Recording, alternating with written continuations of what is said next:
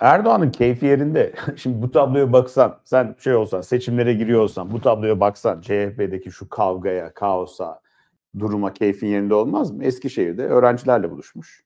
Söylemiş. Bir öğrenci soruyor Eskişehir Spor'un durumu ne olacak diye. Kümeye kadar düştü.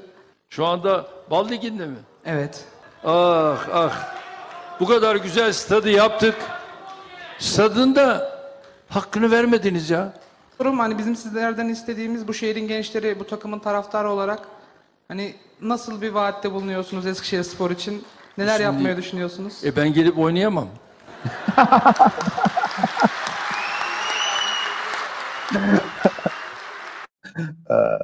Bağla Büyükekşi'yi. Sayın Büyükekşi biraz şu Eskişehir Spor'a bir arkadan verelim rüzgarı şöyle. Penaltı mı olur şey mi olur artık.